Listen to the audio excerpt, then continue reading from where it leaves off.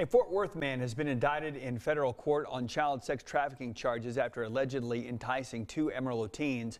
Cecil Castle is facing three charges. Documents claim that Castle paid to have the teens driven from Amarillo to Fort Worth after promising to put them to work as strippers. In court documents, police say Castle forced the teens into prostitution after they arrived. According to documents, the teens were taken to Fort Worth back in November.